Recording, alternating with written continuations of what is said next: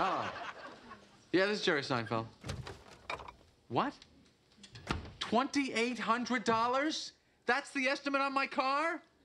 No, don't even do anything. I'm gonna think about it. Okay, bye.